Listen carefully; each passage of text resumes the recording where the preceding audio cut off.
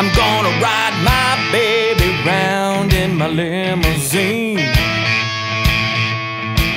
It's the biggest and baddest car that you've ever seen.